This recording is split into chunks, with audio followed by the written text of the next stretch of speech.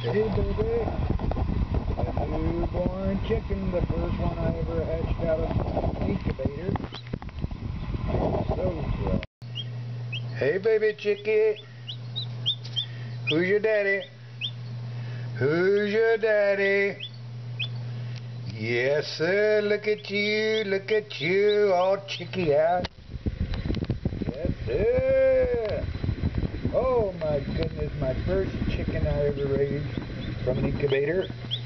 Just got him out of it. It. Looks like he's he's dried off. I have him in a little makeshift brooder here. Nothing fancy, a cardboard box with a 100 watt lamp on it. I put some water. And The chicken experts say don't worry about it. That when they hatch out of the egg, they eat the yolk.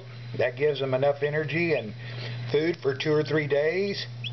But tomorrow I'll start putting it on chicken mash. And this is my little feathered friend. I'll put him on the chicken cam.